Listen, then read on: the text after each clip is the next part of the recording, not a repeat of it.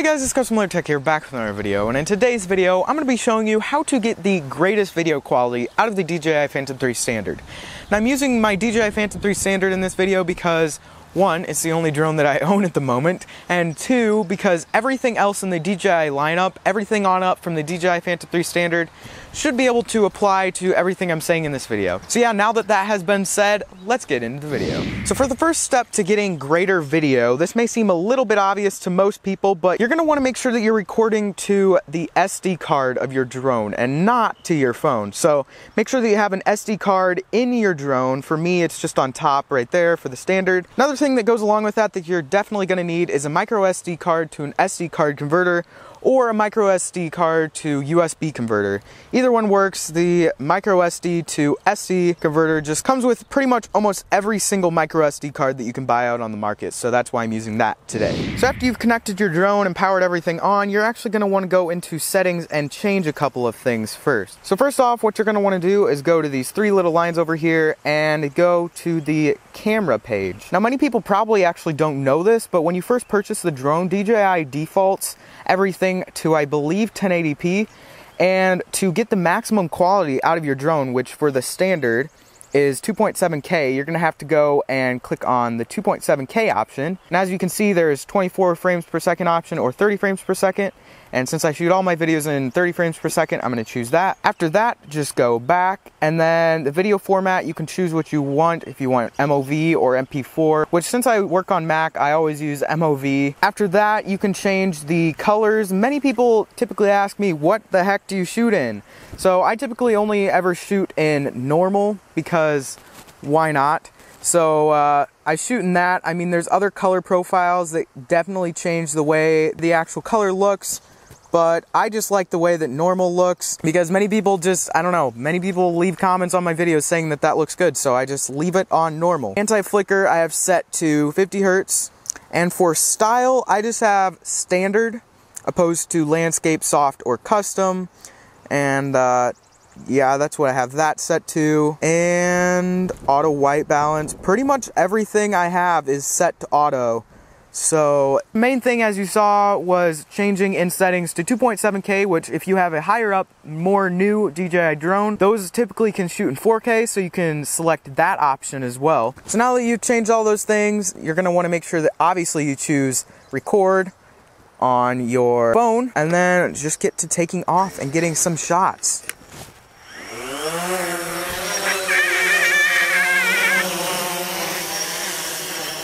Once you've got your drone up into the air, obviously you're gonna wanna take some shots with it. That's what you're doing this entire thing for. So see if I can find some interesting places to record. Probably won't. Typically not that interesting where I live. I don't know, let's do a function mode. Let's go point of interest.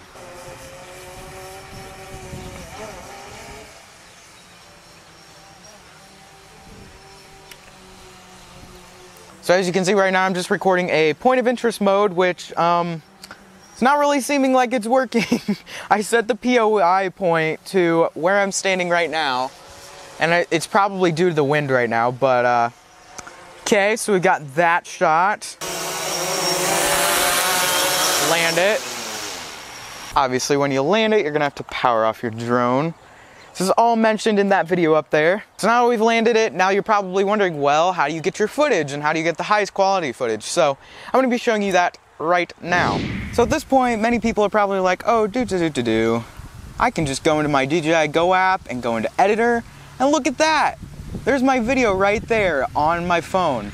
Now that is true that the video that you recorded will show up on your phone, but the thing is, is that even though it shows up on your phone, on your phone is not at full quality. So through the DJI Go app, you can create short little movies and stuff. But I'm not gonna be going into that in today's video, but I just wanna show you that this really is not the highest quality footage that you can get from the DJI Go app.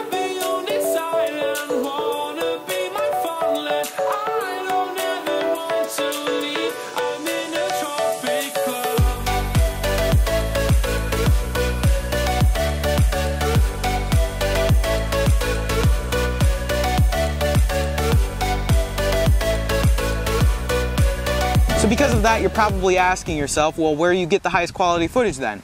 Well, that is where the micro SD card comes in that I was talking about earlier. So the thing is, is on your drone, there's this micro SD card that many people don't actually know about, and you're gonna have to go and take that out. Make sure that you put the micro SD card into your SD card converter or to your USB converter. Get yourself to your nearest computer, which in my case is a MacBook Pro plug in the SD card, and then on your desktop, you'll see that the actual SD card pops up on your computer. So from there, you just click on your SD card, obviously, open up DCIM, 100 media, and then look at that. All right here is all your drone footage that you shot.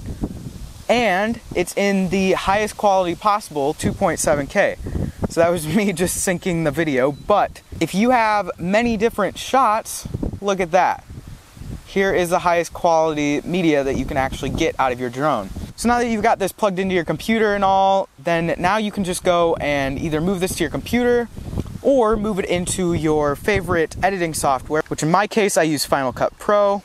When you're actually editing, you can either go and change your settings to 4K, which I always do on all my projects because I shoot all my videos in 4K other than the drone shots.